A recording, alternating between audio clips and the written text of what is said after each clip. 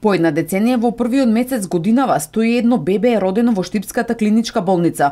Тој просек низ годините се движел од 80 до 90 бебиња, велат вработените на кошерското деление. Во јануари, освен вкупниот број на новороденчиња, од кои 68 се машки, а 33 женски, исто така е надминан рекордот и во трето, четврто и пето родени деца во едно семејство.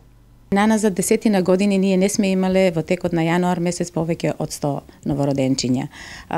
Последната забележена бројка беше пред две години кога имавме 95 новородени, инаку просечно бројката се движи некаде од 85 до 90 за месец јануар. Кај шест родилки се четврто, пето и повеќе. Сме радосни што има поголем број на деца во една фамилија.